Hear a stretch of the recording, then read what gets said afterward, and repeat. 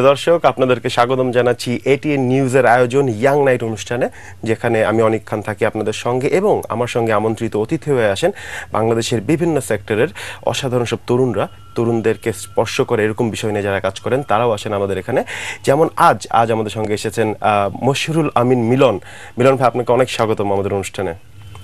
Thank you আমাদের এই টক শোটা যারা সহ্য করেন তাদের জন্য অনুষ্ঠানের শেষে একটি ছোট্ট উপহার থাকে একটি ইনসেন্টিভ সেটা হচ্ছে কি একটি বিয়াং কারও পারফরমেন্স যেমন আজ আপনাদের জন্য অসাধারণ একটি গান পরিবেশন করবেন মিউজিশিয়ান মৃদুল। আমরা ফিরে যাচ্ছি মিলন ভাইয়ের কাছে। মিলন ভাই আপনি বাংলাদেশ অ্যাস্ট্রোনমিক্যাল অ্যাসোসিয়েশনের সাধারণ সম্পাদক। অনেক বছরের পুরাতন পুরাতন একটি প্রতিষ্ঠান একটি অর্গানাইজেশন এবং প্রায় তেইশ বছরের পুরনো। তেইশ বছর। এবং আপনাদের এই প্রতিষ্ঠানে যত মেম্বার্স আছেন যারা যারা কাজ করেন, বেশিরভাগই তরুণ স্কুল কলেজের ছাত্রছাত্রী। বেশিরভাগ স্কুল কলেজে বা ইউনিভার্সিটিতে পড়ছে এমন ছাত্রছাত্রীরাই। এছাড়াও যারা অ্যাস্ট্রোনমিতে আগ্রহী, আর বলা যায় যে প্রায় সবাই সবাই সবাই আপনাতে যোগ দিতে পারে চাইলে। হ্যাঁ। কিন্তু আচ্ছা শুরুতে একটা আপনি একটা কথা বলে নেই। আচ্ছা আপনাকে তো মিলন ভাই আপনার স্কুল কলেজের ছাত্রদের ভিতরে বা বাংলাদেশের তরুণ প্রজন্মের বিজ্ঞান মনস্ক তরুণ প্রজন্মের মাঝে আপনি বেশ জনপ্রিয় একজন চরিত্র। এবং আপনি অনেকেই মহাকাশ মিলন বলে ডাকে। সঞ্জীব চৌধুরী আমাদের প্রিয় বড় ভাই ছিলেন সঞ্জীব চৌধুরী। উনি আপনাকে এই নামটা দিয়েছিলেন। হ্যাঁ সঞ্জীবদা আমাদের মেম্বার ছিলেন। পাশাপাশি সঞ্জীবদার ভাগ্নি আমাদের সাথে কাজ করত। এই ফলে দেখা যেত যে আমাদের যে কোনো প্রয়োজনে সঞ্জীবদার কাছে যেতাম। তা উম, সঞ্জীবদাই যে হ্যাঁ এই মহাকাশ মিলন আসো লেখা দাও। উনি তখন ভরে কাগজে লেখালেখি করেন কাজ করেন। তখন থেকেই আচ্ছা। এই নামটা। এই নামটা মিলন। খুব পছন্দের নাম। আচ্ছা এখানে আমি একটু বলতে চাই আমাদের সঞ্জীব চৌধুরী সঞ্জীব ভাই একজন অসাধারণ কবি ছিলেন। হ্যাঁ। আপনারা বিজ্ঞান নিয়ে কাজ করেন। তো আপনাদের দুটো দলের ভিতরে একটি মিল আছে সেটা হচ্ছে দুজনে আকাশ দেখেন আপনারা। হ্যাঁ আকাশ দেখে আর পাশাপাশি চিন্তাগতভাবেও কিন্তু মিলটা কবি এবং কবি বা বিজ্ঞান বিষয়ে আগ্রহী তারা আসলে একটু কল্পনা করতে পছন্দ করে বা কল্পনাকে তারা ভালোবাসে। যাই হোক মিলন ভাই আপনাদের এই অ্যাস্ট্রোনমিক্যাল অ্যাসোসিয়েশনের আর একটি খুবই নিয়মিত একটি প্রকাশনা আছে। মহাকাশ বার্তা। এটাও প্রায় হ্যাঁ। তেইশ বছর ধরে আপনারা বের করছেন। আহ, 23 অসাধারণ। বছর আমাদের হাতে একটি একটি কপি আছে মহাকাশ বার্তার। এবং এটা এটা হচ্ছে হ্যাঁ ছাপ্পান্ন নাম্বার সংখ্যা। 56 নম্বর সংখ্যা। আমরা গত তেইশ বছর এই ছাপ্পান্নটা সংখ্যা বের করতে পেরেছি। আসলে যেটা হচ্ছে যে আমাদের এই বিষয়ে লেখালেখি করতে পারে এমন লেখকের সংখ্যা বাংলাদেশে খুবই কম। হাতে গোনা যায়। আর এর ফলে যেটা হয় যে আমাদের নতুন নতুন মেম্বারদেরকে আমাদের তৈরি করতে হয়। আবার আরেকটা হয় যে আমাদের যেহেতু ছাত্রছাত্রী, স্টুডেন্টরাই আমাদের সংগঠনের একটা বড় একটা সংখ্যা পরিমাণ কতভাবে তাদের পরিমাণটাই বেশি। ফলে যেটা হয় কি যে তাদের পড়াশোনা, পরীক্ষা এগুলোর গ্যাপে তখন তারা আমাদের সংগঠনের জন্য কাজ করে। ফলে যেটা হয় যে সবাই ধারাবাহিকভাবে নিয়মিত কাজের মধ্যে সবাইকে সবসময় পেয়ে ওঠা হয় না। আবার পড়াশোনা শেষ হয়ে গেলে দেখা যায় যে চাকরিতে কর্মক্ষেত্রে বা বাইরে চলে যাচ্ছে। এই কারণে আমাদের ছাপ্পান্নটা সংখ্যা এখন পর্যন্ত বেড়েছে। এটা আসলে আরও আরও বেশি বের করা উচিত ছিল। আর পাশাপাশি শুধু মহাকাশ বার্তায় যদি আমরা বের করতাম তাহলে হয়তো আরও বেশি বের হতো। কিন্তু আপনাদের আরও অনেক ধরনের বিভিন্ন ধরনের কার্যক্রম আমাদের আসলে সময়ের প্রয়োজনে আমাদের করতে হচ্ছে। আচ্ছা আমি আমি শুধু এটা নিয়ে আরেকটু কথা বলতে চাই যে বাংলাদেশে আসলে আপনার এই মুহূর্তে বিজ্ঞান নিয়ে লেখার জায়গা আসলে কিন্তু আমার মনে হয় কম। প্রতিটি পত্রিকার সাথে প্রযুক্তির পৃষ্ঠা থাকে, একটা ফিচার পাতা থাকে, এই সেই কিন্তু বিজ্ঞান নিয়ে লেখার জায়গা খুবই কম। আপনারা কি মনে করেন যে আপনাদের কি আরেকটু পরিসর বাড়ানোর কোনো কি ইচ্ছা আছে? যে আপনারা, আপনাদের দিক থেকে যদি এগিয়ে যান বিভিন্ন পত্রিকা ওয়ালা যারা আছেন তাদেরকে যদি বলেন যে বিজ্ঞান নিয়ে কারণ বিজ্ঞান নিয়ে লেখা মানে আমরা এখনও বুঝি যে সায়েন্স ফিকশন বা এই ধরনের কিছু বা একদম হার্ডকোর টেকনোলজি প্রযুক্তি বিষয়ক লেখা। তো এটার আর- কীভাবে পরিসর বাড়ানো যায়? এখানে দৈনিক পত্রিকাগুলোর কথা যদি বলতে হয় তাহলে তাদের একটা বড় সীমাবদ্ধতা হচ্ছে স্পেস তাদের একটা পাতার ভেতরেই ফলে যেটা হয় কি যে পাঁচশো এক হাজার শব্দের ওপরে কারও লেখাই আসলে বা দেয়া সম্ভব কিন্তু ওদের হয়ে তো কখনো আমার খুব কম মনে হয় না। তাদের প্রতিটি পত্রিকার সাথে বিভিন্ন চার রঙা হ্যাঁ, লাইফস্টাইল থেকে শুরু করে হ্যাঁ জামা কাপড়ের জিনিসপত্র হ্যাঁ, যায় এখানে বিজ্ঞানের জায়গাটা তো না বিজ্ঞানের জায়গার অভাব আসলে না। একটা বিজ্ঞানের বিষয়ে যদি বিস্তারিত লিখতে হয় তাহলে আসলে এক হাজার শব্দ না তার চাইতে বেশি শব্দ কিন্তু সেখানে ডিমান্ড করে। আর দৈনিক পত্রিকাগুলোতে যেটা হয় যে যেগুলো এই মুহূর্তে খুব আকর্ষণীয় খবর বিজ্ঞানের ক্ষেত্রে রাইট সেই বিষয়গুলোকে প্রকাশ তারা করে তাদের পাঠকের দিকেই করে। এখন জার্নাল যেটা বা বিজ্ঞান বিষয়ক খুব সিরিয়াস যে পত্রিকাগুলো সেগুলোর পরিমাণ কম। সেগুলোতে আসলে বিজ্ঞান বিষয়ক বিশাল বিশাল প্রবন্ধ লেখাগুলো আসতে পারে। আচ্ছা, সেটার হ্যাঁ, অভাবটা আছে। এটা বললাম যে এই অভাবটা কিসের জন্য? এই প্র্যাকটিসটার অভাব কি আমাদের বিজ্ঞান মনস্কতার অভাব নাকি আমাদের শুধুমাত্র যে সেলেবল আইটেমটাই কি আমরা সেল করব? এই এই মানসিকতাটা। ওইটা তো গেল দৈনিক পত্রিকার ক্ষেত্রে তাদের একটা সীমাবদ্ধতার কারণে। আর আরেকটা যেটা হচ্ছে যে আমাদের এখানে বিজ্ঞান প্রতিষ্ঠান বলতে আসলে তেমন প্রতিষ্ঠান আমাদের আহ, এখানে ওইভাবে নেই কিন্তু। আহ, সরকারি প্রতিষ্ঠানগুলোর কথা যদি বলি তাহলে পরমাণু শক্তি কমিশন আছে তারপরে বিজ্ঞান জাদুঘর আছে নভ থিয়েটার আছে এরকম আরও অনেক প্রতিষ্ঠান আছে। কিন্তু তাদের যেটা হয় কি যে গবেষণা তো নাই। গবেষণা যদি থাকতো তাহলে লেখালেখির প্রয়োজনটা থাকতো। আচ্ছা। এবং এখানে যারা আছেন তারা আমি আমার আমার ব্যক্তিগত অভিমত সেটা ওনাদের প্রতি সম্মান রেখে আমি বলছি যে তাদের যদি শিক্ষা মন্ত্রণালয়ে চাকরি দেওয়া হতো সেখানে যে জবটা তারা করতেন এখানেও কিন্তু তারা অনেকেই। এখন যেমন আমি বিসিএসআই এর কথা বলতে পারি যে, সেটার কুদরত ডক্টর মোহাম্মদ ডক্টর কুদরতি খোদার এটা একটা স্বপ্ন ছিল। এখন ওনার স্বপ্নের কারণে একটা বিশাল ক্যাম্পাস নিয়ে অনেক কিছু নিয়ে কিন্তু বিসিএসআই বিসিএসআইআরটা তৈরি করা হয়েছিল।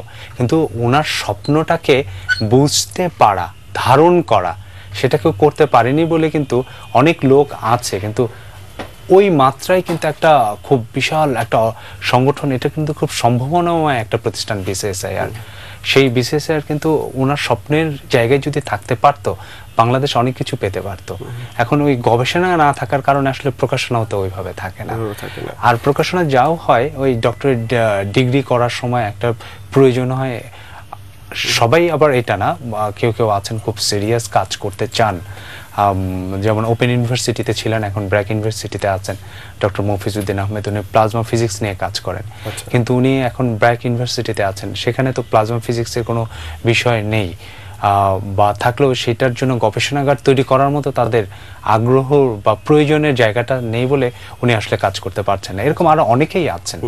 আচ্ছা এখানে যদি আমি আপনাকে আপনাকে জানতে চাই যে আপনি যেটা বললেন যে মন্ত্রণালয় যেগুলো আছে বা আপনি বললেন যে ডক্টর কুদরতি খুদার স্বপ্নটাকে তার ক্যারি করতে পারেনি ধারণ করতে পারেনি। এটা কি কিসের জন্য? তারা ব্যাপারটাকে চাকরি হিসেবে নিয়েছে এই কারণে নাকি তাদের ভিতরে প্যাশনটারই অভাব? মানে বিজ্ঞান নিয়ে প্যাশনটাই নেই। এরকম লোকের কি অভাব বোধ করেন আপনারা যথাযোগ্য জায়গাগুলোতে? হ্যাঁ অবশ্যই। প্যাশনের অভাব আছে এই কারণে যে আসলে আমাদের এখানে যারা এই এই পদগুলোতে আসছেন তাদের তাদের এই তাদের যোগ্যতা অনুযায়ী তারা কিন্তু আসছেন। তাদের যোগ্যতা আছে যথেষ্ট পরিমাণে। কিন্তু বিষয়টা হচ্ছে তারা ভালো রেজাল্ট করে এখানে আসছেন। মানে চাকরিগত যোগ্যতাটা আছে, সঠিক। কিন্তু একটা ভালো পড়াশোনা করা মানে এই না যে এই বিষয়টার প্রতি তাদের ভালোবাসা আগ্রহটা যেটা আসলে হয়ে ওঠে না। দুই হাজার দশ সালের জানুয়ারি মাসে একটি ঘটনা ঘটেছিল আমাদের বাংলাদেশে। সেটা হচ্ছে কি সূর্যগ্রহণ দেখা নিয়ে হ্যাঁ, হ্যাঁ। আপনাদের অ্যাসোসিয়েশন ঘোষণা দিল যে যে সূর্যগ্রহণ দেখতে যাবেন আপনারা সেন্ট মার্টিনসে বলে সূর্য সূর্যগ্রহণ। হ্যাঁ সূর্যগ্রহণ। সূর্যগ্রহণ পনেরো পনেরোই জানুয়ারি। পনেরোই জানুয়ারি। তো ওই সময় আহ, বেশ একটা বিতর্কের সৃষ্টি হয়েছিল। আপনি যদি বিতর্কটা নিয়ে একটু আলাপ করতে চাই যে আসলে ঘটনাটা কি ঘটেছিল? কারণ আমরা জানি যে মন্ত্রণালয় থেকে এক পর্যায়ে এরকম নোটিশও দেওয়া হয়েছিল যে যারা সেন্ট মার্টিন দ্বীপে সূর্যগ্রহণ দেখতে যাবেন তাদেরকে দশ বছরের কারাদণ্ড এবং দশ লক্ষ টাকা সম্ভবত হ্যাঁ। হ্যাঁ, বিজ্ঞাপন এসেছিল এটা বিজ্ঞাপন আকারে জারি হয়েছিল। তো তারপরেও আপনারা গিয়েছিলেন এবং আপনার আপনাদের বিরুদ্ধেই মূলত এটা মানে আঙ্গুলটা তোলা হয়েছিল। মানে আপ- আপনার বক্তব্যটা কি এখানে? আমার বক্তব্য হচ্ছে যে বিজ্ঞাপনটা দেখে এটা যিনি বিজ্ঞাপন দিয়েছিলেন পরিবেশ অধিদপ্তরের ওনাদের প্রতি যথাযথ সম্মান রেখেই বলছি যে ওনারা এটা দেওয়ার আগে আসলে ভাবনা তো তাদের মধ্যে কাজ করে না তারা তো কল্পনা সেটা নেই পাশাপাশি তারা হচ্ছে আহ, উপরের নির্দেশ মানতেই তারা অভ্যস্ত মেশিনের মতো হ্যাঁ। ফলে যেটা হচ্ছে তাদের বিজ্ঞাপনে এসেছিল ঘুড়ি উড়ালে আকাশে তারা দেখলে, সূর্যগ্রহণ দেখলে পরিবেশের ক্ষতি হবে, পরিবেশের ক্ষতি, এই কাজগুলো ওখানে করা যাবে না। এবং এই কাজগুলো যারা করবে, তাদেরকে এই ধরনের এই করা হবে। এবং যেটা হচ্ছে যে, আমরা গিয়েছি আমরা গিয়েছি ডিসকাশন প্রজেক্ট গিয়েছে, এবং বিজ্ঞান জাদুঘরও গিয়েছে। আমরা একসাথেই ছিলাম, কিন্তু যেটা দেখা গেছে, আমাদের খুব আমাদের মতো আমরা তো দেখতেই গেছি আমরা আমাদের মতো দেখেছি। কিন্তু সাধারণ মানুষ প্রচুর ছিল কিন্তু আচ্ছা এটা আমি জানতে চাচ্ছিলাম যে পনেরো ফেব্রুয়ারি তাদের যেটা দাবি ছিল মূলত যে পরিবেশকে রক্ষা করতে হবে সেন্ট মার্টিন দ্বীপকে রক্ষা করতে হবে মানে মানুষ যাওয়াটা যাতে কমে। এরকম নিশ্চয়ই তাদের মূল উদ্দেশ্যটা ছিল কিন্তু লিখেছিল তারা যে আকাশ দেখা যাবে না তারা দেখা যাবে তারা ঘুড়ি উড়ানো যাবে না, কিন্তু ওই দিনের বাস্তবতাটা কি ছিল? আপনারা তো ওই দিন ছিলেন ওখানে। ওখানে বা প্রচুর মানুষ গেছে এবং আমরা যে জাহাজে যাচ্ছি ম্যাজিস্ট্রেট এসে ফাইন করছে সেই জাহাজের তার কি কর্তৃপক্ষকে আপনাদের লোক নাকি টুরিস্টরা না টুরিস্টরা আমরা তো আমাদের টোটাল গ্রুপ ছিলাম আমরা বিশ জন। আচ্ছা। কিন্তু সেখানে চার হাজারের ওপরে মানুষ ছিল। তারা তাদের মতো মজা করছে ফান করছে তারা তাদের আকাশের দিকে হঠাৎ আরে অন্ধকার হয়ে আসছে। হ্যাঁ, এরকম একটা ব্যাপার। আচ্ছা। কিন্তু যেটা হচ্ছে যে এটা ভালো হতো যে ওখানে যে আহ, কৃত্রিম স্থাপনাগুলো আছে এই লোকজন যাওয়া সেটা যদি কন্ট্রোল করা। এবং সেই সেটা যদি ফলো আপটা এখন পর্যন্ত হতো যে হ্যাঁ সেন্ট মার্টিনকে আসলে অবশ্যই এটা আমাদের জন্য একটা খুব সুন্দর একটা প্রাকৃতিক একটা জায়গা। এটাকে রক্ষা করার দায়িত্ব আমাদের। সেটা যদি তখন থেকে এখন পর্যন্ত এটা টেক কেয়ার করা হতো যে হ্যাঁ এটাকে ঠিক রাখতে হবে তাহলে এটা ওকে ছিল। কিন্তু তার পরের দিন থেকে তারপরে থেকে কিন্তু আর কোনো আচ্ছা। এটার কোনো তৎপরতা নেই। এবং আমি যেটা বলব যে পরিবেশ বাংলাদেশ পরিবেশ আন্দোলন যেটা বাপা তারাও কিন্তু এটার সাথে তারা একমত হয়েছিল যে হ্যাঁ সেখানে যাওয়া যাবে না। আজকে ওখানে কি হচ্ছে? আমি বলব যে বাপাকে বলব যে এই বিষয়ে কথা বলার আগে তাদের একটু ভেবে কথা বলাটা তাদের জন্য এটা শোভনীয় হবে। আমি তারা বেয়াদবি নেবেন না। আমি তাদের প্রতি সম্মান রেখে বলছি যে এটা তাদের করা উচিত ছিল। এবং সর্বশেষ আমি যেটা বলব আসলে এটা একটা মানসিক বিকৃত মানে মানসিক প্রতিবন্ধী। কিছু ওই জায়গার থেকেই আসলে এই ভাবনাটা এটা আমাদের কিছু করতে পারেনি করতে পারবে না আচ্ছা আমরা আবার যদি ফিরে আসি আপনাদের অর্গানাইজেশনের কথায় হ্যাঁ। এই তারুণ্য বেষ্টিত প্রায় পনেরোশোর মতন মেম্বার এখন আছে আপনাদের।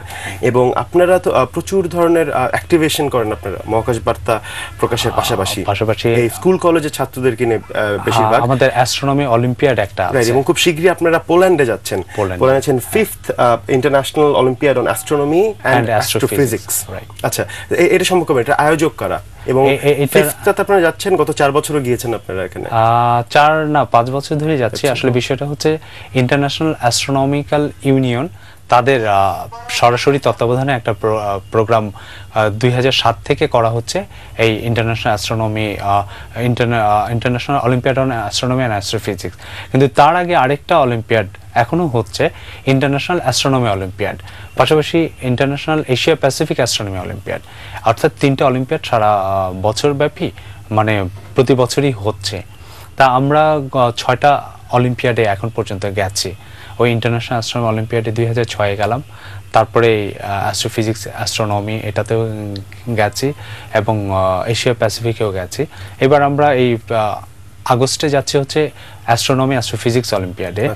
আর এর পরে সেপ্টেম্বরে আছে হলো বাকি অন্য দুটো অলিম্পিয়াড কিন্তু সেখানে আমাদের আসলে টিকিট একটা ব্যাপার। মানে এয়ার টিকিট মানে এয়ার টিকিট টিকিট রাইট আর সেটা স্পন্সর আমরা খুঁজছি। যদি আমরা পেয়ে যাই তাহলে আশা করি আমরা আচ্ছা এখন একটা জিনিস আমাকে বলেন যে এই যে ইন্টারন্যাশনাল অ্যাস্ট্রোনমিক্যাল ইউনিয়ন কারা কারা? এই বডিটা কারা? এটা হচ্ছে সারা পৃথিবীর যে অ্যাস্ট্রোনমারদের যে সর্বোচ্চ যে ফোরাম অর্থাৎ আমরা দুই হাজার ছয় যেটা দেখেছিলাম যে প্লুটোকে গ্রহ হিসেবে আর বিবেচনা করা হবে না। এই সিদ্ধান্তটা যে বডিটা দিয়েছিলেন এটা হচ্ছে সেই বডি মানে সেই বডির আমন্ত্রণে যাচ্ছেন যারা প্লুটোকে হ্যাঁ। গ্রহ থেকে বাদ করে দিলেন। সৌরজগতের- তার মানে ডেফিনেটলি একটা অসাধারণ একটি বড় একটি ইভেন্ট হ্যাঁ উইদাউট হ্যাঁ, এনি এটা সারা পৃথিবী থেকে সব সেরা সেরা লোকজনই যান। আমরা একমাত্র আমরাই বাংলাদেশ থেকে অ্যামেচার অ্যাস্ট্রোনমার কারণ এখানে আমাদের এখানে প্রফেশনাল অ্যাস্ট্রোনমার আমাদের এখানে নেই। আচ্ছা। বাংলাদেশের যারা আছেন তারা বাইরে কাজ করেন।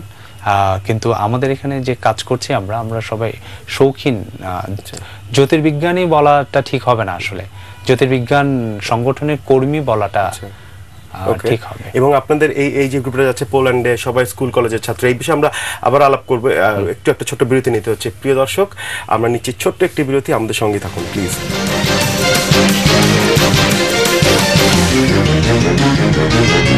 প্রিয় প্রিয় দর্শক বিরতি শেষে আবার ফিরে এলাম ইয়াং নাইট অনুষ্ঠান নিয়ে। আমি অনেক খান আছি আপনাদের সঙ্গে এবং আজ আমাদের আমন্ত্রিত অতিথি হিসেবে আছেন মিলন ভাই মহাকাশ মিলন। কথা বলছিলাম বাংলাদেশ অ্যাস্ট্রোনমিক্যাল অ্যাসোসিয়েশনের বিভিন্ন অ্যাক্টিভেশন নিয়ে এবং খুব শীঘ্রই আপনারা যাচ্ছেন ইনশাল্লাহ পোল্যান্ডে। পোল্যান্ডে। পোল্যান্ডে এটা হচ্ছে international olympiad on astronomy and astrophysics এবং এটা আয়োজক হচ্ছে কি সেই বডিটি যারা কিছুদিন আগে প্লুটোকে গ্রহ থেকে গ্রহের তালিকা থেকেই বাদ দিয়ে দিল। থেকে তো আপনাদের এখানে আপনাদের কারা যাচ্ছে অলিম্পিয়াডে যোগ দিতে? আপনাদের মেম্বার্স কারা? গ্রুপ টিমটা এখানে টিমটা হচ্ছে আমাদের অ্যাস্ট্রোনমিক্যাল অ্যাসোসিয়েশনের থেকে আমি যাচ্ছি এবং আমাদের আমার আরেক কলিগ রোনাল্ড ক্রুজ আমরা দুজন বাংলাদেশের টিম লিডার হিসেবে যাচ্ছি। আর চারজন যাচ্ছে স্টুডেন্ট যারা প্রতিযোগী। আচ্ছা। তারা যাচ্ছে এই প্রতিযোগীর ভেতর দুজন হচ্ছে ইন্টারমিডিয়েট পড়ছে একজন ইন্টারমিডিয়েট পাস করেছে ভর্তি হয়নি এখনও। আর আরেকজন হচ্ছে ঢাকা মেডিকেলের সেকেন্ড ইয়ারে পড়ছে। আচ্ছা। এই চারজনের একটা আচ্ছা ওখানে কি হবে ওখানে মূলত? এখানে যেটা হচ্ছে অ্যাস্ট্রোনমি এবং অ্যাস্ট্রোফিজিক্স নিয়ে প্র্যাকটিক্যাল পরীক্ষা হবে তারপর অবজারভেশনাল পরীক্ষা হবে এবং থিওরিটিক্যাল পরীক্ষা হবে। এই তিনটা পরীক্ষা তিন দিন হবে। এবং তারপর সেখান থেকে বাছাই করে তাদেরকে পদক দেয়া হবে মানে মেডেল যেটা যে গোল্ড সিলভার ব্রোঞ্জ এরকম মেডেলটা দেবে। আর যেটা হচ্ছে আমাদের জন্য, এই অলিম্পিয়াডটা আমাদের গত বছর একটা সাফল্য আমাদের ছিল। সেটা হচ্ছে আমাদের বাংলাদেশে অ্যাস্ট্রোনমি কোনো ইনস্টিটিউট বলতে যেটা বোঝায় সেটা আমাদের এখানে নেই। আবার ইউনিভার্সিটিগুলোতে কোনো অ্যাস্ট্রোনমি ডিপার্টমেন্ট নেই প্রফেশনাল অ্যাস্ট্রোনমার নেই। কিন্তু সারা পৃথিবীর অন্য সব জায়গাগুলোতে এগুলো আছে। তো তারপর আমাদের তিনজন প্রতিযোগী গত বছর অনারারি মেনশন পেয়েছিল। আচ্ছা। অনারারি মেনশন অর্থাৎ সিক্সটি আপ নাম্বার যারা পায় সিক্সটি থেকে সেভেন্টির ভেতরে তাদেরকে এটা দেয়া হয়। এটা অনেক আহ, সম্মানী একটা বিষয়। যে আমাদের এখানে পড়ানো হয় না কিন্তু আমাদের যে অংশগ্রহণ করে প্রতিযোগী যে স্টুডেন্টরা ওরা কিন্তু নিজেদের আগ্রহেই কিন্তু পড়াশোনাটা করে। যার কারণে গত বছর এটা হয়েছে এবং গত বছর আরেকটা প্রতিযোগিতায় এশিয়া প্যাসিফিক অ্যাস্ট্রোনমি অলিম্পিয়াডে দেখা গেল আমাদের এক নাম্বারে দেড় নাম্বারের জন্য আমরা মেডেল পাইনি।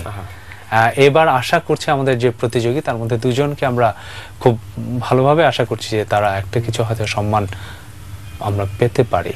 আমরা আমরা আশা করছি আমরা দোয়া করছি ইনশাল্লাহ এখন আমরা যদি মিলন ভাই মহাকাশ মিলন ভাই আমরা যদি একটু জেনারেল একটু আলাপ করতে চাই আপনার সাথে আমরা তো আপনার প্রতিষ্ঠান সম্পর্কে অর্গানাইজেশন সম্পর্কে জানলাম অনেক কিছু। আমরা যদি ইন জেনারেল বলতে চাই বাংলাদেশের তারুণ্য নাগরিক তারুণ্য তারা কিন্তু এখন অনেকটাই প্রযুক্তি নির্ভর প্রযুক্তির প্রতি তাদের অগাধ ঝোঁক তারা প্রচুর ব্যবহার করছে। কিন্তু তারপরেও আমরা দেখি যে আমাদের তারুণ্যের ভিতরে একটি সংস্কার অনুশীলনটা খুব বড় আকারেও কিন্তু হয়। সংস্কার কখনো সেটা সুসংস্কার কখনো কুসংস্কার। এবং আপনি সেটা খেয়াল করেছেন? হ্যাঁ। হ্যাঁ? হ্যাঁ না সেটা করেছি। এখন বিষয়টা কি যে মানুষ তো তার কল্পনা চিন্তা ভাবনা এরকম বৈচিত্র্য এটা থাকবেই। আহ, আর একজন শিক্ষক আমার একজন শিক্ষক উনি বলেছিলেন একবার যে এই বিষয়গুলো নিয়ে তার সঙ্গে কথা হচ্ছিল। উনি বলছিলেন যে দেখো অন্ধকার তো অনেক আছে এখন অন্ধকারের অন্ধকারকে তাড়ানোর জন্য ওটার পেছনে দৌড়ালে পরিশ্রম হবে সময়টা নষ্ট হবে। কি করতে হবে? সেখানে একটা আলো যদি জ্বালিয়ে দাও অন্ধকারের পেছনে দৌড়াতে হবে না অন্ধকার নিজেই দৌড়ে পালিয়ে যাবে। অর্থাৎ তার মানে এবং এই কথাটা আমার কাছে খুব গুরুত্বপূর্ণ এবং আমি আমি অবশ্যই এটা সবসময় মনে রাখব এবং মনে রাখি যে আমরা যদি বিজ্ঞানের বিষয়গুলোকে আমরা তুলে ধরতে পারি জ্ঞানটাকে যদি প্রচার করতে পারি সবার মধ্যে আগ্রহী করতে পারি ছড়িয়ে দিতে পারি তাহলে কিন্তু এই জিনিসগুলো আসলে থাকবে না। এগুলো নিয়ে আসলে বলার মানে এগুলোকে আসলে গুরুত্ব দেয়া। এগুলো গুরুত্ব পাওয়ারও বিষয় না। জ্ঞানের সঠিক চর্চাটা হলে আসলে এই জিনিসগুলো এমনি অটোমেটিক নিজে নিজেই চলে যাবে। কিন্তু আপনি কি মনে করেন যে জ্ঞানের চর্চা যথেষ্ট পরিমাণে হচ্ছে? হ্যাঁ সেটা তো অবশ্যই আমাদের একটা সীমাবদ্ধতা আছে আমাদের শিক্ষা ব্যবস্থার আহ, টাও আসলে বা জ্ঞান অর্জনের জন্য না পাশ করার জন্য। আচ্ছা। হ্যাঁ চাকরি পাওয়ার জন্য যে পড়ালেখা করে যে গাড়ি ঘোড়া চড়ে সে এটা পড়ে যে বাচ্চা ছোটবেলা আমাদের সময় এটা ছিল। আমি জানি না এখনকার ওয়ান টুর বাচ্চারা এইটা জানে কিনা। হ্যাঁ কিন্তু কিন্তু হ্যাঁ কিন্তু এই এই এই ফিলোসফিটাকে ধারণ করেই তো আসলে শিক্ষা ব্যবস্থাটা আহ, চলছে। দুইটাই যথেষ্ট পরিমাণে হ্যাঁ, ক্ষতিকর। কিন্তু আমি যেটা বলতে চাচ্ছিলাম যে আমরা তো বাস্তবান বাস্তবতা দেখছি যে আসলেই একটা তরু- তরুণ প্রজন্মের একটা অংশ যারা প্রযুক্তি নির্ভর হ্যাঁ। তারাও কিন্তু মানে বিজ্ঞান চর্চা থেকে দূরে সরে যাচ্ছে। প্রযুক্তিটা যে একটা টুল এটা যে একটি হাতিয়ার এটাকেও তারা ব্যবহার করছে হচ্ছে কুসংস্কার কে বিভিন্ন বিভিন্ন কুসংস্কার থেকে শুরু করে বিভিন্ন এ- এই ধরনের জিনিসকে অনুশীলন করতে। হ্যাঁ, হ্যাঁ। এবং এবং তারা প্রযুক্তিটাও ব্যবহার হচ্ছে কিন্তু বৈজ্ঞানিক কাজে খুব একটা ব্যবহার হচ্ছে না। আমরা তো আমাদের কম্পিউটার টেকনোলজি বলেন যেটাই বলেন সাহিত্য চর্চায় ব্যবহার হচ্ছে। বিভিন্ন আমরা খারাপ বলছি না কিন্তু হ্যাঁ। বিভিন্ন আপনি মানে কিন্তু বিজ্ঞান চর্চায় তারুণ্য নেই। সবার হাতে হাতে মোবাইল আছে। কিন্তু না আসলে বিষয়টা কি যে প্রযুক্তি আর বিজ্ঞান কিন্তু দুইটা দুই জিনিস। এটাকে আমাদের প্রথমে বুঝতে হবে। এটাই আমি জানতে হ্যাঁ। চাচ্ছি। এই জায়গাটায় যদি এটা বুঝতে হবে এই কারণে যে আসলে বিজ্ঞান হচ্ছে সমস্ত প্রযুক্তি আসছে কিন্তু বিজ্ঞান থেকে। বিজ্ঞানের একটা প্রায়োগিক দিক হচ্ছে প্রযুক্তি। বিজ্ঞান যখন বিকাশ হবে তার প্রয়োজনে প্রযুক্তিগুলো বিকাশ হবে। আমাদের এখানে যেটা হচ্ছে বাইরের থেকে প্রযুক্তিগুলো চলে আসছে তো, ফলে আমরা সেটাকে ধারণ করতে, আমরা সেটা ব্যবহার করতে পারি। কিন্তু সেটাকে আমরা ধারণ করতে পারি না, সেটাকে আমরা ডেভেলপ করতে পারি না আমাদের নিজেদের প্রয়োজন। এটা একটা জিনিস। আরেকটা জিনিস, বিজ্ঞান শুধু জ্ঞান মানে আমি বলতে চাচ্ছি যে বই, লেখা এগুলো না, এটার ভেতর কিন্তু একটা ফিলোসফি আছে। হ্যাঁ? যে আসলে কার্যকরণ বের করা, কোনো ঘটনার পেছনে, কোনো একটা, এই কম্পিউটার কাজ করছে, এটা যে এটা আসলে কারেন্ট আছে, এটার ভেতরে এটার ভেতরে সফটওয়্যার আছে এবং এটা আমি চালাতে পারছি, এরকম অনেকগুলো শর্ত মিলেই দেখা যাচ্ছে কম্পিউটারটা কাজ করছে। অর্থাৎ এই শর্তগুলো সম্পর্কেও ধারণা থাকা ওয়াকিবহাল হওয়া যে হ্যাঁ এটা আসলে কোনো কাকতালীয় ব্যাপার না। এটার পেছনে যুক্তি আছে।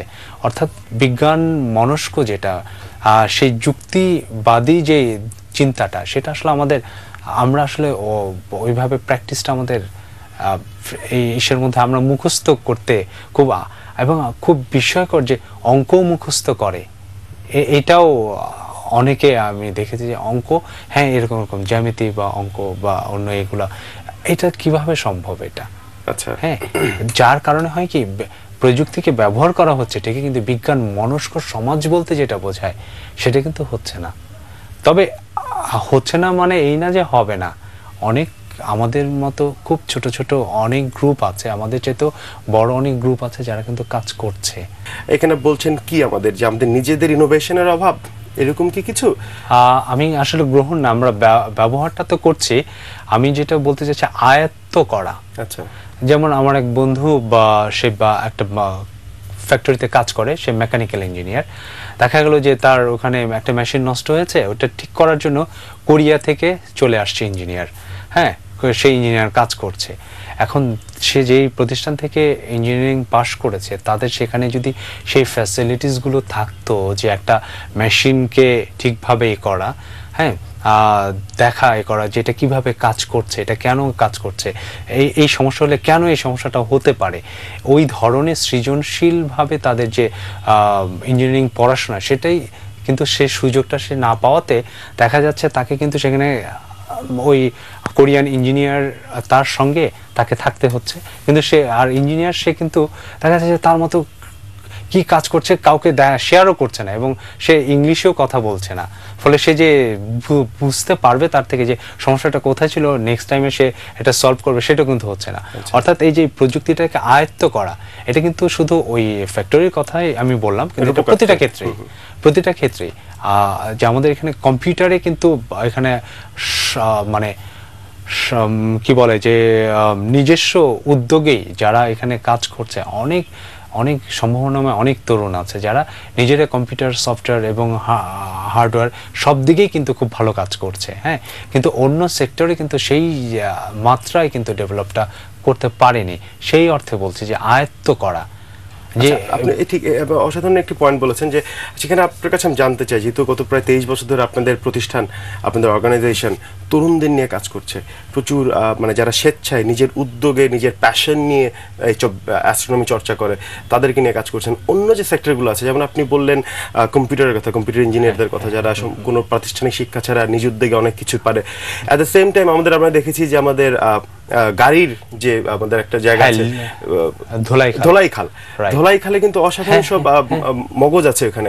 অসাধারণ কাজ করছে। অ্যাট দ্য সেম টাইম এখন যে সমকালীন যে technology contemporary technology mobile technology হ্যাঁ। আপনি যে কোনো ইস্টার্ন প্লাজা বলেন যে কোনো মোবাইল মার্কেটে গেলে মার্কেটে যদি যান আপনি দেখবেন যে একবারে বাচ্চা ছেলেগুলা ইয়াং ছেলেগুলা আইফোন থেকে শুরু করে যে কোনো টেলিফোন যে কোনো সেট খুলে টুলে একদম সারাই করে ঠিক করে মানে আমার আমার এমনও হয়েছে যে অরিজিনাল যে কোম্পানি তাদের কাছে আমি গিয়েছি তারা বলেছে ঠিক করা সম্ভব না। কিন্তু ইস্টার্ন প্লাজায় যে একটা ইয়ে বাচ্চা একটা ছেলে কত বয়স হবে? উনিশ হয়তো বা আঠারো উনিশ সেই ছেলে পুরোটা খুলে ঝালাই টেলাই করে একদম নতুন আমাকে করে দিল। হ্যাঁ। ঠিক তো এই যে ছেলে পেলেগুলো আছে আমাদের এই যে বাংলাদেশের যে অসাধারণ মেধাবী তারুণ্য প্যাশনেট তারুণ্য তাদেরকে নিয়ে কি করা যেতে পারে বলুন তো? আপনার এই তেইশ বছর অভিজ্ঞতায় তারুণ্যের সাথে কাজ করার পরে আপনি আপনার আহ, কি হয়? এখানে ধোলাইখালের কথা যখন আসলো আমি একটু আমাদের কথাটা বলি হ্যাঁ। যে আমরা নাইনটি সেভেনে একটা ক্লাসরুম প্ল্যানেটোরিয়াম আমরা তৈরি করেছি তখন আমাদের প্ল্যান ছিল যে ইন্ডিয়া থেকে আমরা একটা প্ল্যানেটোরিয়াম কিনে আনব যেটার দাম পড়বে দুই লাখ টাকা আচ্ছা। এবং তারপরে দেখা গেল ইন্ডিয়াতে যারা বিক্রি করে আহ, তাদের পক্ষে এটা আমাদের কাছে বিক্রি করা সম্ভব না কেন তারা আমেরিকান প্রযুক্তি ব্যবহার করে এবং সেইটার কারণে শর্ত যে ইন্ডিয়ার ভেতরে বিক্রি করতে পারবে বাইরে রপ্তানি করতে পারবে না। কারণ আমেরিকান ওই প্রতিষ্ঠানটা সারা ওয়ার্ল্ডে এটা রপ্তানি করে। এখন আমরা যখন আমেরিকা ওদের সাথে যোগাযোগ করলাম দেখা গেলো এটার দাম ছয় লাখ টাকা। তা আমাদের এখানে দুজন তরুণ তখন আমাদের খুবই ভালো বন্ধু, একজন আজাদ রহমান আর একজন প্রকৌশলী সুকল্যাণ বাচ্চার। ওনারা দুজন আজাদ রহমানই এটা শুরুটা করল। আমি আজাদ রহমানকে আজাদ রহমানকে বললাম যে, দেখেন তো এটা এই সমস্যা যে ওরা আসলে আমরা আর প্ল্যানেটোরিয়াম পাচ্ছি না। কারণ তখন আমরা, আমাদের হাতে দুই লাখ টাকা আছে প্ল্যানেটোরিয়াম কেনার জন্য। তখন আজাদ রহমান বলল যে আচ্ছা আমি একটু চেষ্টা করি তো, এটা আসলে খুব বেশি জটিল কিছু কি হবে? এবং দেখা গেল যে সে আট মাসের ভেতরে পঞ্চাশ হাজার টাকা খরচ করে আজাদ রহমান এবং তার সাথে সুকল্যাণ বাচ্চার তারা দুজন মিলে প্ল্যানেটোরিয়াম যেটা বের তৈরি করল, যে সেটা আসলে ওয়ার্ল্ড স্ট্যান্ডার্ড যে প্ল্যানেটোরিয়াম, ঠিক সেম এবং এক সপ্তাহে এটা প্ল্যানেটোরিয়ামটা উদ্বোধন করা হলো বুয়েটে ডক্টর জামিল রেজা চৌধুরী, ইকবাল মোহাম্মদ স্যার ওনারা ছিলেন সবাই। এবং যেটা হচ্ছে যে এই প্ল্যানেটোরিয়ামটা কিন্তু তৈরি করা হয়েছে ধোলাই খালে ওয়ার্কশপগুলোতে কাজ করে এবং যেটা হলো যে এক সপ্তাহের মধ্যে বাংলাদেশ সরকার আমাদের থেকে এটা নগদ টাকা দিয়ে কিনে নিয়ে এটা এখন সাভারে লোক প্রশাসন প্রশিক্ষণ কেন্দ্র যেটা সেই নাইনটি সেভেন থেকে কিন্তু এই প্ল্যানেটোরিয়ামটা সেখানে আছে। আমি যেটা বলতে চাই যে ধোলাই খালে যে কাজগুলো প্ল্যানেটোরিয়ামটা তৈরি করা হয়েছে ধোলাই খালের সাধারণ যে যারা কাজ করেন তারাই কিন্তু এটা করেছেন। অর্থাৎ তারা কিন্তু অসম্ভব রকম সৃজনশীল এবং মেধাবী। সৃজনশীল তারা হ্যাঁ দক্ষ। তাদেরকে ব্যবহার করাটা আসলে আমরা করতে পারছি না তারা। এবং এই যেটা বলছিলেন যে এই গাড়ির যে আমাদের এখানে লিপু একজন আছেন উনিও কিন্তু প্রচুর এরকম গাড়ি নিজের উদ্যোগে নিজের চেষ্টাতেই কিন্তু বিভিন্ন মডেল বিভিন্ন এই গাড়ি কিন্তু উনি করছেন। এবং ওনাকে নিয়ে ডিসকভারি চ্যানেলে ডকুমেন্টারিও হয়েছে। অর্থাৎ এই যে তরুণ এই ধরনের মেধাবী কিন্তু আমাদের বাংলাদেশের ছেলেরা ছেলেমেয়েরা অসম্ভব রকম মেধাবী। হ্যাঁ আমি এটি জানতে চাচ্ছি যে আমাদের মেধার অভাব নেই আমাদের সৃজনশীলতার অভাব নেই আমাদের দক্ষতার অভাব নেই। তো তাদেরকে কি করে কাজে লাগানো যায়? আপনার কি সাজেশন যে এভাবে করা যায় কি? এটা কি মন্ত্রণালয় করতে হবে না কি করতে হবে তাদের জন্য? কি করা উচিত? আসলে এটা তো একটা রাজনৈতিক প্রশ্নের মতো হয়ে যায়। বিষয়টা যে আসলে আমাদের রাজনীতি থেকে বিচ্ছিন্ন না না বিচ্ছিন্ন না সেটাই, হ্যাঁ। যে আসলে আমাদের যারা যিনি ক্ষমতায় আসেন না কেন যে আগামী ২০ বছর পর বাংলাদেশের ছেলেমেয়েরা আমি থাকব না আমার দল থাকবে না আমার দল হয়তো আগামী পঁচিশ বছর পঞ্চাশ বছর ক্ষমতায় আসবে না কিন্তু আমি এখনই পাঁচ বছরে এমন একটা কিছু করে যাই যে এই বাচ্চা ছেলেমেয়েরা আগামী বিশ বছর পর এই কাজটা করবে। হ্যাঁ এই স্বপ্ন দেখার জায়গাগুলো যদি আসলে স্বপ্নটা সবাই দেখতে পারে না তো? এইটা একটা সমস্যা। নিজের স্বপ্ন দেখতে পারলে অবশ্যই অন্যদের স্বপ্ন পূরণের ওই ক্ষেত্রটাও প্রস্তুত করার ব্যাপারে তাদের একটা ভূমিকা হয়তো বা থাকতো। হ্যাঁ থাকতো। মানে স্বপ্নটা থাকে যে মানে ওই স্বপ্নটা আসলে প্রয়োজন। আচ্ছা। স্বপ্নটা প্রয়োজন স্বপ্নটা থাকলে আসলে সবকিছুই হয়। আচ্ছা আপনি একটু আগে বলেছেন যে দুইটা বিষয় নিয়ে আলাপ করতেছি একটা তো আলাপ হলো। আরেকটা বিষয় যেটা আপনি বললেন যে আমাদের আসলে বিজ্ঞান চর্চার ক্ষেত্রটা একটু বড় করতে হবে। আপনি যেটা যেটা আলাপে আসলো আমাদের যে বড় করতে হবে। আপনাদের মতন ছোট ছোট যারা প্রতিষ্ঠান আছে যারা আসলে ছোট বলা ঠিক না আপনারা অনেক ফ্লারিশ করেছেন আমরা। আসলেই ছোট মানে কিন্তু কিন্তু আপনি যে বলেছেন যে এরকম আরও কিছু আছে এবং আরও বাড়তে হবে হ্যাঁ। কিন্তু আরও যদি বাড়ে কি আরও সমস্যা হবে না ইফ ইউ ডোন্ট মাইন্ড যে আপনাদের ছোট কয়েকটা সংস্থা আছে তারপরেও কিন্তু বিভিন্ন সমস্যা আমরা শুনতে পারি ঝামেলা একজনের সাথে আর একজনের একটু বিরোধ। যেমন আপনি ইনফ্যাক্ট এই সূর্যগ্রহণ পনেরোই জানুয়ারি দুই হাজার দশ এটার যে সূর্যগ্রহণের যে বিষয়টা এখানেও কিন্তু আলোচিত হয়েছে বিষয়টা যে অন্যান্য আরও অনেক প্রতিষ্ঠান আরও অনেকেই অর্গানাইজেশন তাদের নিজেদের ভিতরে একটি অন্তর্কলহ টাইপের একটা কিছু ছিল। তো এই জিনিসটা কিসের জন্য? বিজ্ঞান যারা ধরেন আমি যেটা বললাম কুসংস্কার যারা মানেন যারা চর্চা করেন প্রচুর প্রতিষ্ঠানও আছে বিভিন্ন রকমের আমাদের আমরা ফেসবুক খুলে দেখি। এদের ভিতরেও তো ক্লাস থাকতেই পারে। তাদের ক্লাস থাকলে আমার কিছু করেন। আপনি যেটা বললেন যে তারা তাদের মতন থাকবে মানুষের যদি কোনো বড় ক্ষতি না হয় তারা তাদের মতন থাকুক। কিন্তু বিজ্ঞান চর্চাকারী তাদের ভিতর যদি এরকম ক্লাস থেকে এটা কি ধরনের কথা? মানে এখান থেকে উত্তরণের উপায় কি? এটা বা কেনই হচ্ছে বা কেন এটা? না এটা আসলে ব্যক্তিগত সীমাবদ্ধতা। আচ্ছা। কারণ আমি যদি অঙ্ক করতে চাই দেখা যাবে যে বাংলাদেশে এখন সরকার হিসেবে কত? ষোলো কোটি মানুষ কি? না অনেক কম। চোদ্দ কোটি চোদ্দ কোটি? আচ্ছা চোদ্দ কোটি মানুষ যদি হয় আমি প্রতিদিন যদি আকাশ দেখাই আমি কতজন মানুষকে দেখাতে পারব? এক হাজার মানুষকে। এক হাজার মানুষকে আমি প্রতিদিন যদি দেখাতে চাই এটা কিন্তু অনেক টাফ কিন্তু এক হাজার মানুষকে প্রতিদিন আকাশ দেখানো। আচ্ছা তারপরে এই তিনশো পঁয়ষট্টি দিনে আমি তিনশো পঁয়ষট্টি হাজার অর্থাৎ কত? তিনশো মানে তিন লাখ চার লাখ মানুষকে আমি এক বছরে দেখাচ্ছি। তাহলে আমি দশ বছরে দেখাচ্ছি চার কোটি মানুষকে তাই না? তাহলে আসলে আমাদের ভাগে কত পড়তেছে? আমার আমি মা আমরা তো সম্ভব না এটা। হ্যাঁ মানুষ তো আরও বাড়তে থাকবে তো। আরও বেশি দরকার ঠিক আছে, কিন্তু তাহলে যেটা হচ্ছে যে আসলে আমাদের এখানে চোদ্দ কোটি মানুষের জন্য মিনিমাম চোদ্দ হাজার বিজ্ঞান সংগঠন দরকার। শুধু অ্যাস্ট্রোনমির জন্য যারা আকাশ দেখাবে আবার কোনো সংগঠন থাকবে পাখি দেখাবে কোনো সংগঠন থাকবে গাছ নিয়ে কাজ করবে বা প্রকৃতি নিয়ে বা অন্য অন্য বিষয়গুলো নিয়ে কাজ করবে হ্যাঁ? আর এইটা যেটা হচ্ছে এটা কি আসলে ব্যক্তিগত সীমাবদ্ধতা কি? যে অনেকে নামটা চাওয়াটা একটা সমস্যা হয়। কারণ বিজ্ঞান আন্দোলন করলে তো আর টাকা পয়সা পায় না। আচ্ছা। কারণ আমাদের এখানে বিজ্ঞান প্রতিষ্ঠান নেই যে যেমন আমরা। আমরা এই যে দুইটা হ্যাঁ। দুইটা জায়গায় আমরা যেতে পারতেছি না। আর আগামী বছর সম্ভবত আমাদের যাওয়া হবে না। কেন? ব্রাজিলে হবে। সেখানে প্লেন ফেয়ারি অনেক। অনেক বেশি। হ্যাঁ এই যে এই বিষয়গুলো, যে বিজ্ঞান প্রতিষ্ঠান নেই বলে কিন্তু আমাদের স্পন্সর আসে না হ্যাঁ? কিন্তু বিজ্ঞান প্রতিষ্ঠান বলতে বিজ্ঞান প্রোডাক্ট এখানে সেল করে, তৈরি করে। এখানে যারা আছেন, তারা বাইরের জিনিস বিক্রি করে, এমনিই বিক্রি হবে। যেটা অ্যাস্ট্রোনমির ডেভেলপ হলে তাদের বিক্রির লাভ বা বেশি কম হবে না। যার কারণে স্পন্সারও তার মানে এই না যে আমরা স্পন্সর পাই না স্পন্সর পাই কিন্তু যারা স্পন্সর দেন আমাদেরকে তাদের ব্যক্তিগত আগ্রহের থেকেই দেন আচ্ছা। হ্যাঁ এখন যেটা হচ্ছে যে আমাদের এখানে আহ, ফলে এইরকম যে ক্ল্যাশের কথাটা বলেন এটা যারা আমরা হয়তো আমার মধ্যেও আছে। মানুষ তো। এই সীমাবদ্ধতাগুলোকে আসলে আমাদের নিজেদেরকেই উত্তরণ হবে। করতে হবে। উত্তরণ করতে হবে। যাক মেন ভাই আপনাকে আমাদের অনুষ্ঠানের সময় প্রায় শেষের দিকে ইনফ্যাক্ট শেষই। আপনি যদি আমাদের তরুণ যারা বন্ধুদের বন্ধুরা আছেন তাদেরকে উদ্দেশ্যে কিছু বলতে চান? আমি একটাই জিনিস বলব যে আসলে বা তরুণ একজন আশি আহ, মানে আমার আমার আমার অনেক ফ্রেন্ড আছে যারা সত্তর বছর বয়সের তরুণ। হ্যাঁ? বয়সটা আসলে বিষয় না বিষয় হচ্ছে মানসিকতাটা। আর সেই মানসিকতাটাকে যদি ধরে রাখা রাখতে চাই আমরা এটা আমার ব্যক্তিগত আমার সাথে দ্বিমত আপনারা অবশ্যই করতেই পারেন যে এখানে যেটা আসলে কল্পনা করতে হবে স্বপ্ন দেখতে হবে এবং প্রশ্ন করতে হবে। এবং যেটা হচ্ছে যে ফিজিক্যালি যার বয়স যতই হোক না কেন কারও কথাই আসলে যুক্তি ছাড়া গ্রহণ না করার মানসিকতাটাও থাকতে হবে। মানে এই সব কিছুর মধ্যে দিয়ে আসলে তারুণ্যটা বেঁচে থাকে।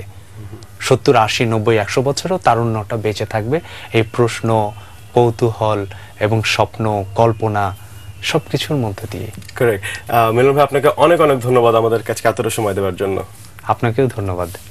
প্রিয় দর্শক, আমরা এতক্ষণ কথা বলছিলাম মশরুল আমিন মিলন, বাংলাদেশ অ্যাস্ট্রোনমিক্যাল অ্যাসোসিয়েশনের সাধারণ সম্পাদক। ওনার সাথে আমরা জানলাম অনেক কিছু, বাংলাদেশের বিজ্ঞান চর্চা নিয়ে অনেকক্ষণ কথা হলো এবং তার কথা থেকে যেটা উঠে আসলো, আমরা বিশ্বাস করি সেটাই ঘটবে। বাংলাদেশের তারুণ তারুণ্য আপনারা যারা আছেন আরও আরও বিজ্ঞান মনস্ক হবেন এবং তার কথা একটি খুবই অসাধারণ একটি আলোচনার একটা একটা বিষয় উঠে এসেছে, সেটা হচ্ছে গিয়ে যে বিশ্বাস যার যার নিজের জায়গায় থাকে এবং তাদের মতন যারা বিজ্ঞান মনস্ক মানুষ, তারাও বিশ্বাস করেন যে প্রতিটা মানুষ তাদের তাদের তাদের বিশ্বাস নিয়ে যদি থাকেন এবং শান্তিপূর্ণভাবে সহাবস্থান করতে পারেন, তাতে কারোরই কোনো ক্ষতি নেই। প্রিয় দর্শক এবং উনি আরেকটা যেটা বললেন যে প্রশ্ন করতে হবে। আপনারা যদি আমাদেরকে কোনো প্রশ্ন করতে চান, আপনারা চাইলে ইমেল করতে পারেন। আমাদের ইমেলের ঠিকানা young night at the rate of ATN news TV dot com আর শুরুতে কথা দিয়েছিলাম যে আমরা বিদায় নেবার পর আপনাদের জন্য একটি ছোট্ট ইনসেন্টিভ রেখে যাব। সেটা হচ্ছে একটি গান। যেমন আজ আপনাদের জন্য গান পরিবেশন করবেন মিউজিশিয়ান মৃদুল। আমরা চলে যাচ্ছি গানে।